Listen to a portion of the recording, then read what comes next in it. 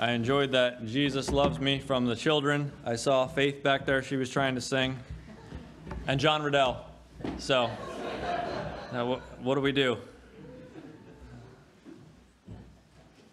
Very good. Thank you for that. Uh, let's go to the Lord in prayer. Before we begin, we have uh, uh, some needs to pray about, people to pray for, and uh, some, some who are absent tonight because they're dealing with heavy situations. So we need to, to uh, pray for God's mercy and comfort uh, for these folks and for those who are traveling away from us. Pray for God's protection of them. And some, uh, many sick, different things going around, and uh, uh, some, some back in the saddle, and some just fell out. So we're, we're praying for a restoration healing for some of those. So let's pray. Father, we thank you for your work in our lives. We thank you for the word that you've given to us that sustains us and that which gives us comfort through the Holy Spirit when we have difficult times and difficult trials. And we think of some in the body who are going through those things. We think of the days. Uh, we pray that you strengthen them and work in their lives now as uh, Brother Lovelace is uh, going through this difficult time in his physical life. We pray your mercy to him and to his wife, Jean. We pray for others uh, in the body and connected with the body going through difficulties right now. We pray your comfort for them and help them to look to you. Pray for those who are traveling and away from us. We pray you strengthen them and protect them and uh, give them uh, good times of, of fellowship and encouragement together. We pray for those who are sick in the body, those who are not able to be with us because of this. We pray your strength for them. We pray for the Twombleys, and I pray you strengthen Brother Twombly as he is re- recovering still from this uh, bout that he had, and we pray that you give him the strength to get around and the ability to breathe clear. Uh, we thank you, Lord, for the word that you've given us again, and that which uh, enables us to grow, that which challenges our thinking it challenges our, our flesh, and tells us what we ought to be, and then gives us the comfort and the blessing of being o- obedience and in, in a right order with you. We thank you, Lord, for these things. We thank you for God's people tonight. I thank you for those who are here to worship you in spirit and truth. I pray you'd bless our time together. And I pray that as we look into your word, that you would use it in each heart to bring the need of the moment. We ask these things, Lord, in Jesus' name. Amen.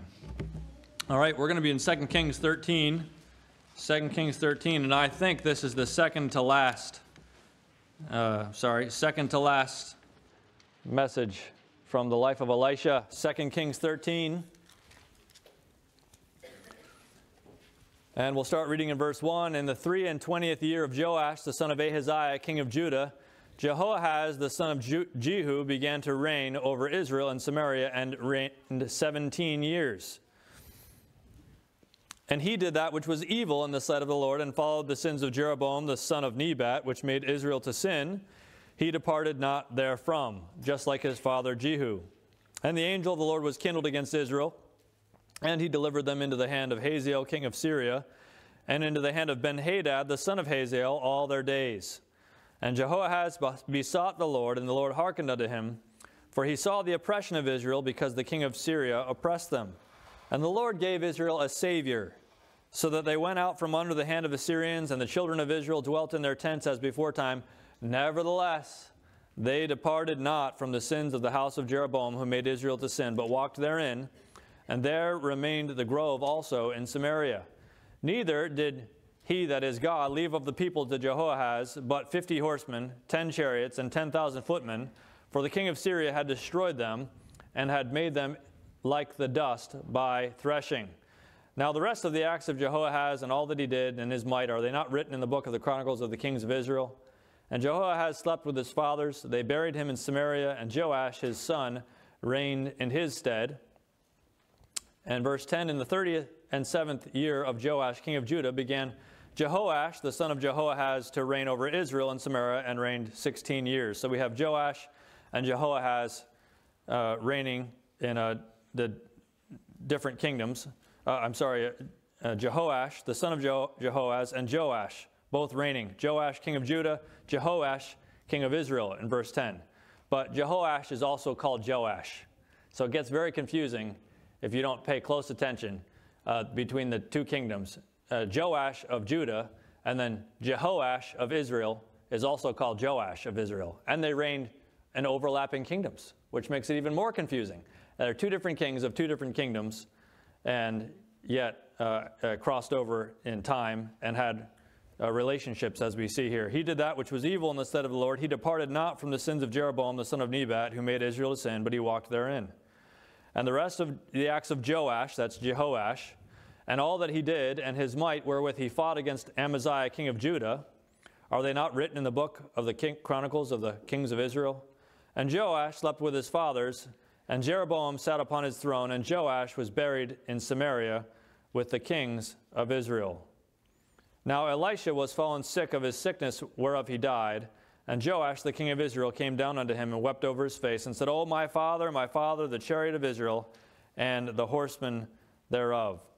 And so, right here, we see the context of what's been going on in Israel. Israel has not been, uh, uh, not been serving the Lord in truth or in sincerity or in singleness. They've been serving the Lord and uh, uh the gods of Jeroboam, the son of Nebat, sinning. They had groves in Samaria. They have a lot of sinful things going on. And they call on the Lord to preserve them. He sends them a Savior, and they're able to get some respite, but they don't deal with these sin issues in the camp, if you will. And so they continue to be challenged and to be oppressed by Syria. And the Lord allowed this. In fact, the Lord brought Syria and the Lord delivered uh, Israel into Syria's hand all the days of Hazael and then Ben Hadad, his son, the kings of Syria. Why? Because of their disobedience, because of their idolatry, really, before the Lord. And so they struggled.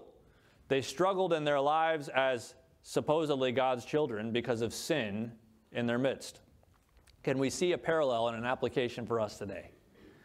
We struggle with the oppression of the world, we struggle with difficulty, we struggle with trouble in our lives, and our perception of these things mostly because of sin in our lives. And we don't get rid, we won't get rid of sin. We don't fully get rid of. We leave it in Samaria, or we leave the groves over here, or we leave pockets of uh, the worship of uh, Jeroboam the son of Nebat, uh, as jo- Joash did and as Jehoahaz did in verse 2. A sad state of affairs, but this is what happens, and this is the life of God's people often, and we have to get past these things. We have to get victorious over these things and spend our seasons, our time serving the Lord, and not keep falling into these pits and falling into these tracks of time where we're in captivity, where we're in bondage. And there's a lot of spiritual uh, parallels for us here. But when we come to Elisha's life, we find that he's now close to the end of his life. And I want you to know that from the last recorded miracle of Elisha until now is probably over 30 years. Probably over 30 years. So, in the beginning of Elisha's life, he had a lot of, uh, uh, I don't want to say popu- popularity, but publicity at least, publicity. Big, huge events happening. Things that are recorded, things that are miraculous, things that everybody knows about. But then for most of his ministry, actually, we don't know anything about it. There's no word for us about it. He served the Lord in anonymity for those years. Most of our Christian life is going to be anonymity and faithfulness to God. We find that, that Elisha, at the end of his life, though, is still serving the Lord. And he didn't because he's now anonymous, because now his name is not in lights, because now the Lord is not doing these wonderful and great uh, magnificent miracles through him that, oh, now I don't need to serve the Lord as much anymore, or now it's not as important, maybe, or maybe now the battle is not as fierce. No, Elisha was faithful to the Lord to the end of his days. And even though the second part of his life and the second part of his ministry was largely silent as far as what we know of it, and it doesn't seem like there was a whole lot of movements of God going on in the, in the land at that time, uh, he was still faithful to the Lord. And I praise God for that. And that's a good testimony for us. It's a good challenge for us that we, no matter what happens in our lives, we think we sometimes we think, well, I want to be part of something big for the Lord. Well, that's all well and good, but God instructs us to just serve Him every day. Just serve Him every day. That's what's big in the eyes of God. That's what He wants us to do. Sometimes He'll use us in something that seems to be a momentous thing. Sometimes He'll use us in something that seems to be insignificant, but that doesn't mean that it is. It might appear that way to us, but not according to God's uh, stewardship, not according to God's economy. It's not a small thing. We need to look at things from God's perspective and from God's way. And just like Elisha, we should be faithful to the Lord, even if our ministry before Him is in anonymity or we come to a place where we're not in, it's not a big public thing, there's not a whole lot going on. We're just being faithful to the Lord, just plodding along, being faithful to the Lord. And that's what God desires of us. He wants us to just be faithful. The best Christians that I've known are not the Christians who knew the absolute most about the scriptures, which is a great thing to do. Don't let me diminish that, okay? They're, but they're not the people that they're not the people that had the biggest name, it had the most popularity, and the, the largest ministry or the largest reach. Those are not the best Christians that I've known. The best Christians that I have known, and you would say this too if you really think about it, are the ones that you knew that over time were just faithful to the Lord. They were just faithful from beginning to their, uh, from the beginning of their Christian life to their last breath, they were faithful to the Lord. And you realize, you look at that and you say, wow, through adversity in their lives, through difficulty, that person was faithful. That is greatness in the eyes of God. Absolute greatness in the eyes of God. Are we going to be like that? Are we, is that going to be able to be said of us when we go to glory? And when we breathe our last here, and when they put a tombstone uh, where, we, where our body lies, well, that, that, he was a faithful brother, she was a faithful sister, and they just honored the Lord with their lives.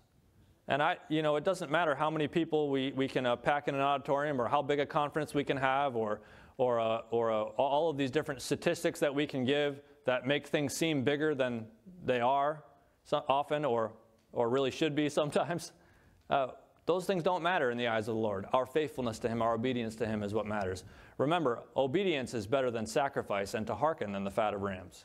Let's obey the Lord. Let's be faithful, just like Elisha Elisha went through all of these miracles with the nation of Israel, many things that he accomplished miraculously in order to demonstrate to the people remember, Jehovah is God, and that God had somebody through whom he was going to speak. Here is Elisha, the man of God, and you have him preaching the message of Jehovah and trying to draw the people back into the pure and true and singular worship of Jehovah.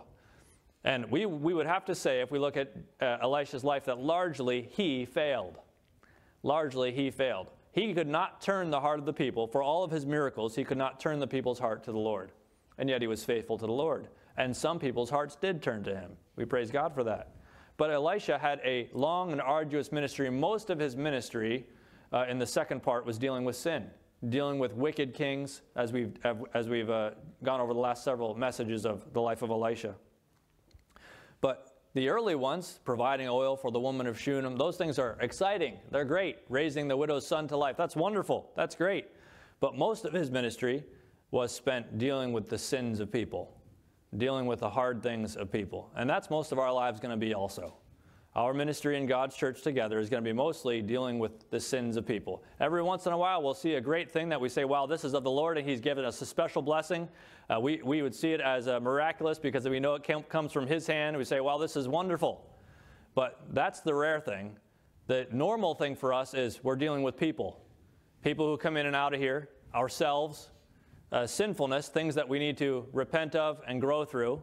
Uh, times of change, times of, wow, we need to learn this together from the scriptures and we need to grow and we need to make some changes here. Times of repentance, wow, we've sinned here, we need to change here. Uh, uh, individual, corporate, all of these things. Uh, and trying to help people who come in who are lost. This is normal.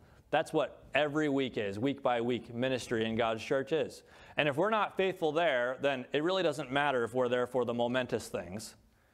Uh, what is that?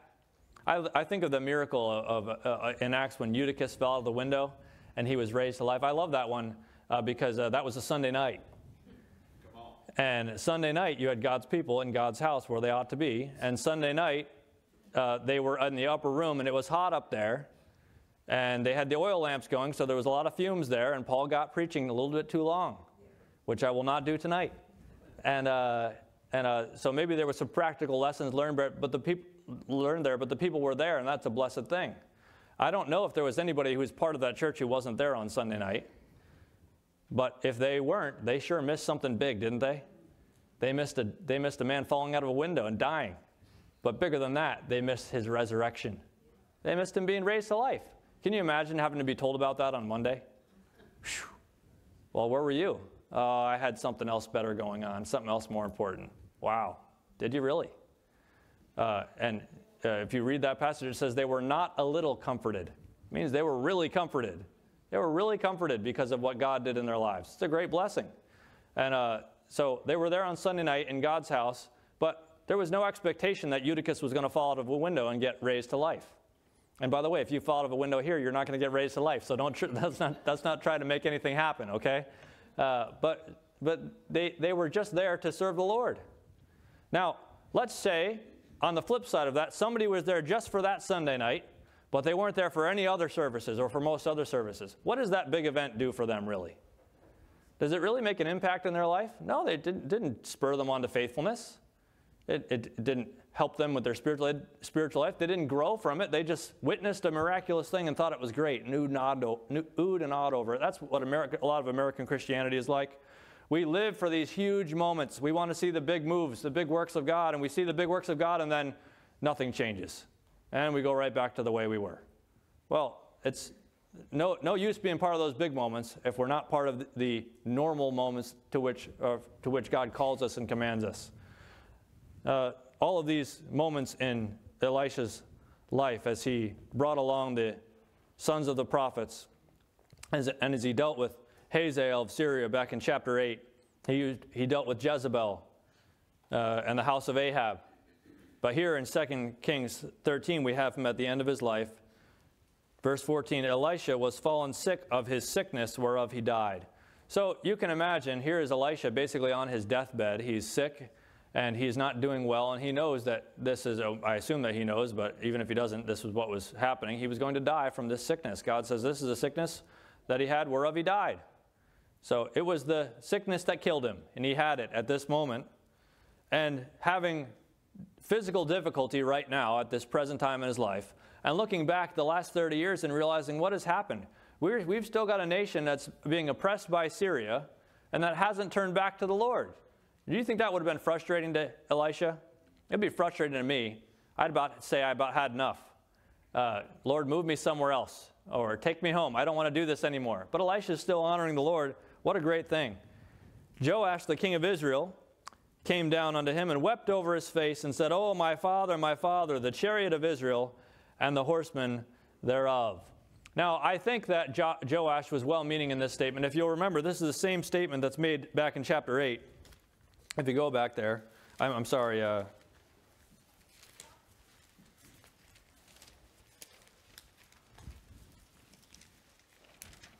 that's, that's, that's, that's too far. I want to go on chapter 2 and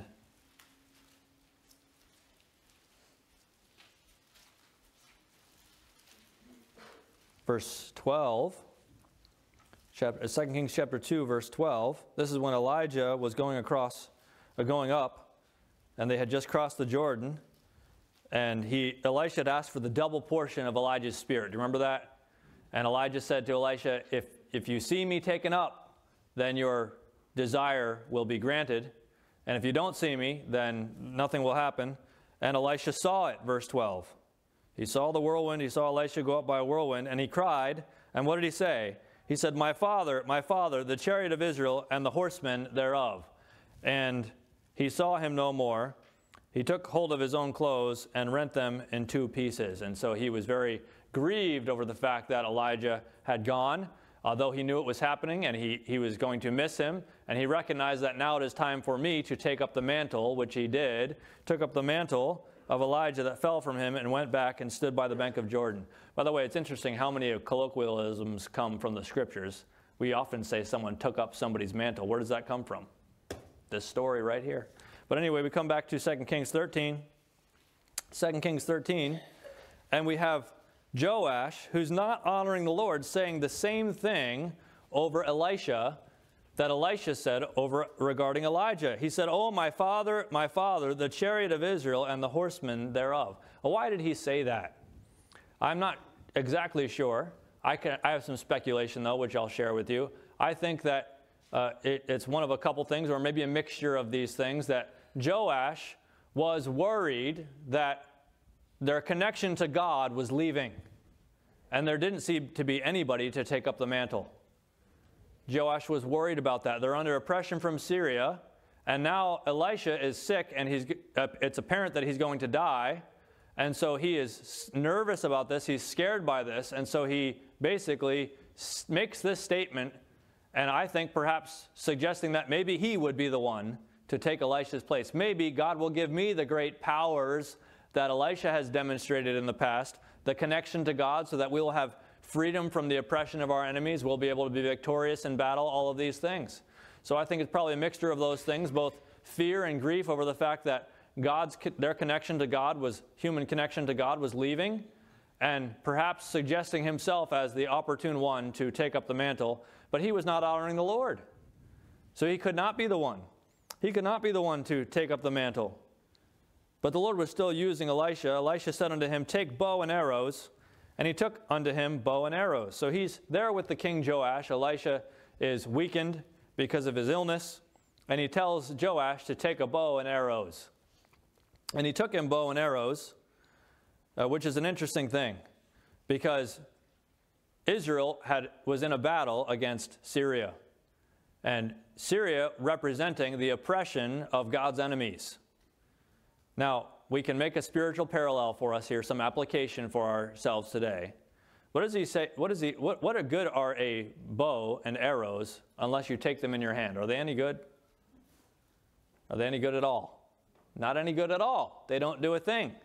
And you can express your fear, you can express your anger at the enemy, as Joash no doubt would have, but without the bow in his hand, he could not do anything about it. And Elisha told him, Take the bow and arrows. Hold your place there and turn to Ephesians chapter 6.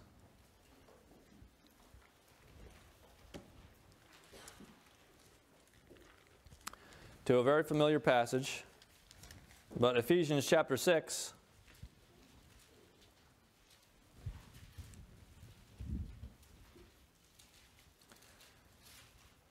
And he says in verse 10 Finally, my brethren, be strong in the Lord and in the power of his might. Put on the whole armor of God, that ye may be able to stand against the wiles of the devil. For we wrestle not against flesh and blood, but against principalities and against powers and against the rulers of the darkness of this world, against spiritual wickedness in high places. By the way, we stand against. It's okay to stand against things. Sometimes we feel bad about always being against, uh, again things. We need to be against things. This is what the Christian life is. It's a battle. We're always battling against something. God's, how many times does He use the word against here? A bunch of times. We're, we're to be against things. Wherefore, take unto you the whole armor of God, that ye may be able to withstand in the evil day, and having done all to stand. What does he say in verse 13? Wherefore, take unto you the whole armor of God. Take unto you. What did he say? What did, what did Elisha say to Joash? He said, Take unto you bow and arrows. If we're going to use the weapons of God, if the weapons of God are going to be effective for us, we have to take them. We have to get in the battle. We have to be active in the battle. And this is what message Elisha was trying to get across to Joash. We've got to be, you've got to be active here. You can't be passive. You've got to be active. You've got to be rooting out sin and evil, and you've got to be fighting against it, warring against it. We have a law warring in our members individually, don't we? The flesh against the spirit. It, there's a spiritual battle going on. We have a war going on. We should not forget it. There's a battle. And we're in it. We're in it individually and we're in it together, and we need to take unto us the weapons. Take them in our hands, just like Elisha told Joash, take the bow and arrow in your hands.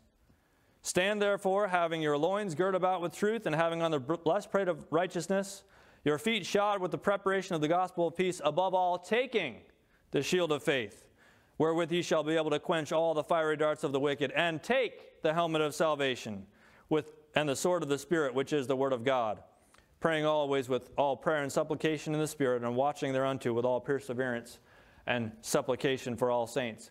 We have to be willing to take these things to us and get in the battle ourselves. Are we like that? What about the spiritual battle that's in our lives? Are we willing to fight the battle against sin and against uh, doubt, against discouragement, against those things that Satan would bring into our lives, those fleshly tendencies that we have, perhaps anger, perhaps immoral tendencies. What are these things that are in our lives? We're warring against them. And these are the weapons of our warfare, but so often we refuse to take them to us because it requires some activity, and we would like to have a passive Christian life. I would like it to just be easy. I would like it to come to me by osmosis.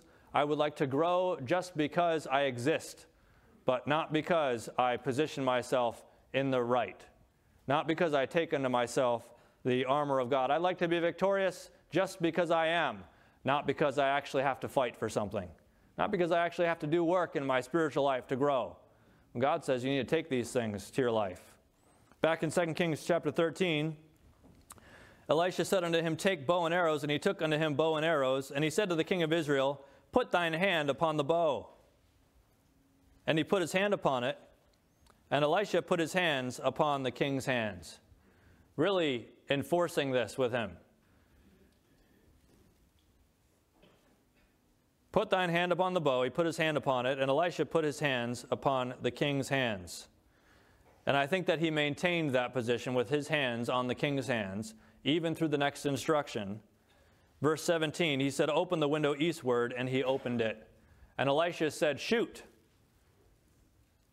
And he shot. And he said, Notice it, the arrow of the Lord's deliverance and the arrow of deliverance from Syria, for thou shalt smite the Syrians in Aphek till thou have consumed them.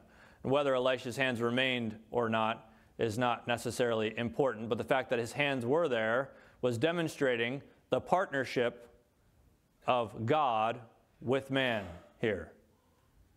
Elisha putting his hands on the bow was demonstrating God will be with you. God is going to help you. And when I say partnership, I don't mean an equal partnership. I mean I mean a 100% God and we're there uh, partnership. Okay, uh, but a willingness to be used by God. And when one when we will obey the Lord, God will work with us. By the way, the same is true for us when we do anything for the Lord. When we go out witnessing, God will go with us. Amen. When we have to fight against wrong in our lives, God will go with us when we have grief in our lives and we have the battle to fight uh, of fear or of discouragement, God will go with us. He will he promises that he will never leave us nor forsake us. It wasn't that his promise to Joshua who was about to go fight battles in the land of Canaan, I'll be with you. And the Lord is with us. Jesus Christ told his disciples, he said that the Spirit uh, was with them, and he said, He shall be in you. He dwells within us in this day. We have the Holy Spirit within us. He's always with us. We can praise God for this. He says in verse 16, Put thine hand upon the bow, and he put his hand upon it, and Elisha put his hands upon the king's hands. And he said, Open the window eastward, and he opened it. Then, then Elisha said, Shoot. By the way, eastward was the direction of Syria. Said, Shoot, and he shot. And he said, The arrow of the Lord's deliverance, and the arrow of deliverance from Syria. See, the, what he wanted was deliverance from Syria, but Elisha was trying to tell him, you need to depend on the Lord for this. This is the Lord's deliverance. That's why his hands were on the bow with uh, Joash's. This is the arrow of the Lord's deliverance. And as you shoot that arrow, it's a picture of something. We're illustrating victory over, we're illustrating victory over Syria. And God, many times in his scriptures, illustrates for us victory over Satan and sin and the flesh in our lives. And it is preached on, it's told this is what will happen if you do so. That's the arrow going forth, demonstrating to us, yes, here's a, a promise from God, if you will. The arrow of the Lord's de- deliverance, the arrow of deliverance from Syria, for thou shalt smite the Syrians in Aphek till thou have consumed them. And notice it, he said in verse 18, Take the arrows. And he took them, and he said unto the king of Israel, Smite upon the ground. And he smote thrice and stayed. So the way that the man of God, Elisha, told him was basically to uh, smite upon the ground, not just to hit the ground once, but to smite upon the ground.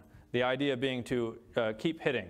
So if I said uh, uh I was going to uh, punch you in the face, I won't do that. But if I were to say that I was going to do that, you would think of one punch. But if the, the way this is this is stated, it was the idea of beating.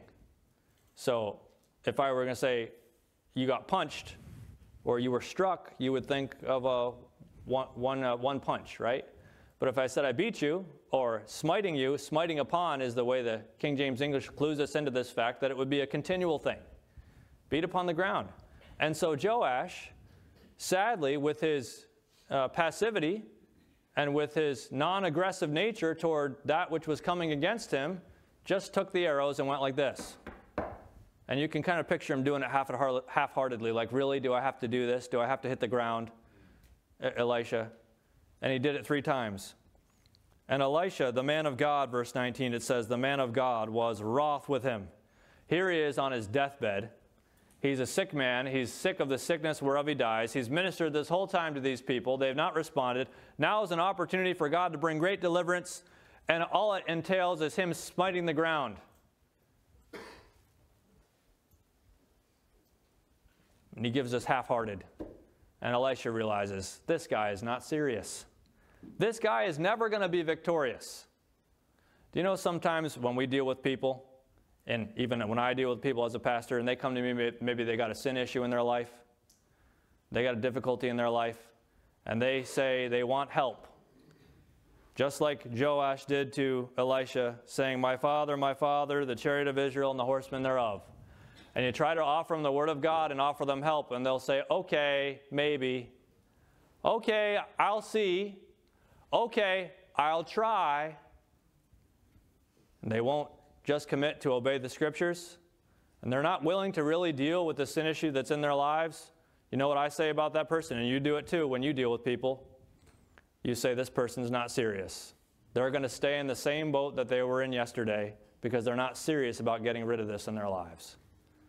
What did the Lord Jesus say even about those who would enter the kingdom?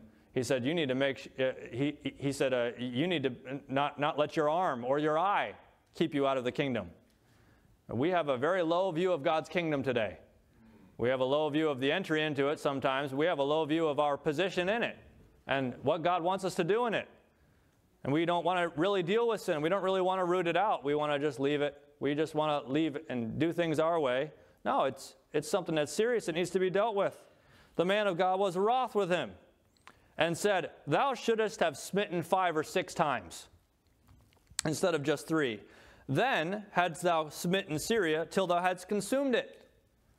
Whereas now thou shalt smite Syria but thrice. Now you're only going to have three victories and they're not going to, it's not going to be total victory. You could have completely took them out of the picture. But because you have a half-hearted view of this thing, because you're passive, because you won't actively deal with this situation, because you're not aggressive in dealing with this enemy of the Lord, because you're focused on too much on following the sins of Jeroboam the son of Nebat, and not focused enough on, on following the Lord, you're not going to have real victory. You're going to have partial victory. And this thing is going to continue to be a burr in the saddle. It's going to continue to be that pain in the neck. And if we're not serious about sin in our lives and do anything that it takes to get rid of it, then these things will keep coming back and bugging us. They're going to keep being oppressive in our lives. By the way, you know what? I, I speak to some people who are, uh, who are, I say, I need to stop saying it. I've said in the past, struggling with the sin of, uh, with immorality and perhaps in pornography or something like that. We shouldn't say struggling with it. It's, you're just involved in sin. So, how do you get not involved in sin? Okay, maybe you have to get rid of some things in your life. Say, well, that makes my life more difficult. So what? What, what is more worth it? Maybe you can't have a cell phone. Maybe you need to get a flip phone.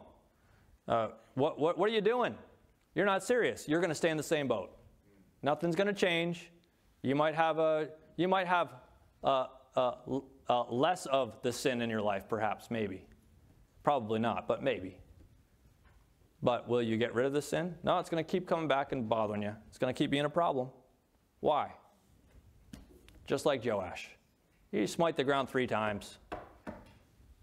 And Elisha said, You should have done it five or six times. Now you're only going to have half a victory.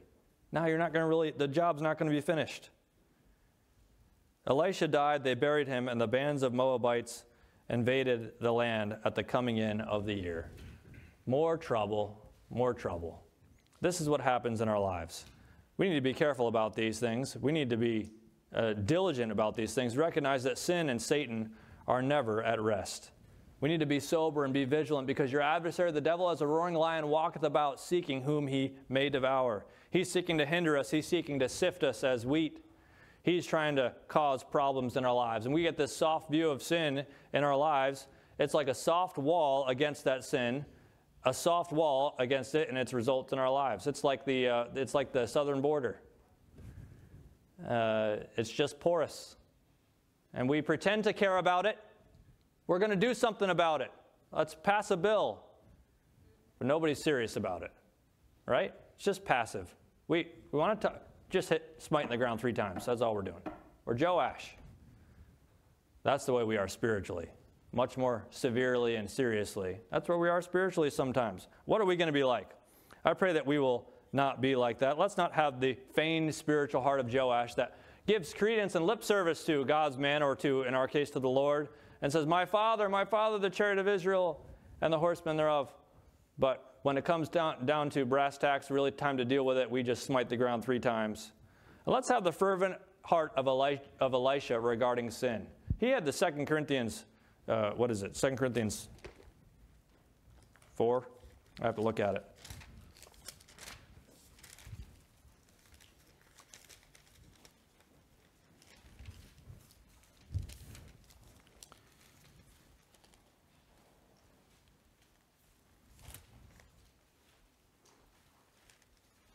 Well, now I can't find it. But anyway, he talks about how they dealt with the sin that was in their church. Second Corinthians 7.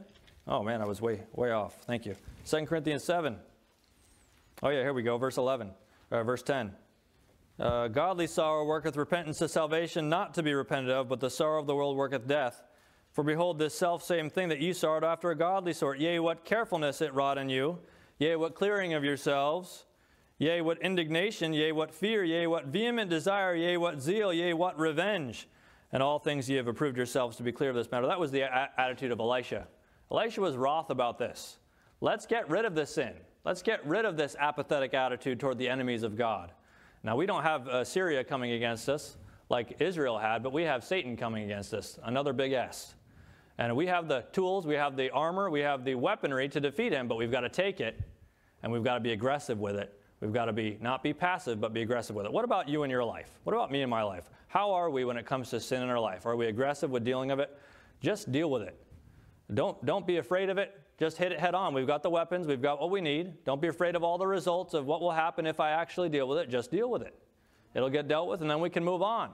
Uh, where there's difficulty, the Lord will be with us, and He'll help us through that. I challenge you with that tonight. Uh, allow the Lord to use this in your life so we don't get in our individuals' uh, lives, in our families, in our church ever succumb to this uh, sin in the camp that just hampers us and bothers us uh, like Achan and causes destruction and causes us to fear when we should be able to be confident. Let's pray.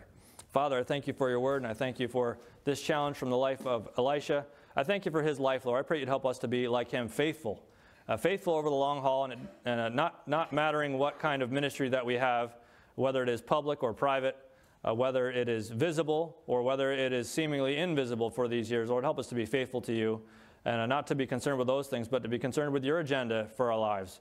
We thank you for the great many blessings that you give us and the blessings of uh, the spiritual armor and the spiritual weaponry that you've given us to defeat Satan and the flesh. I pray, Lord, that you, you to strengthen us in these things. Individually and as a church, Lord, we want to be those who are against sin. We want to be against the things of the world. We want to be wroth and angry and have revenge executed against the sins of our lives. Lord, help us to root these things out before you and with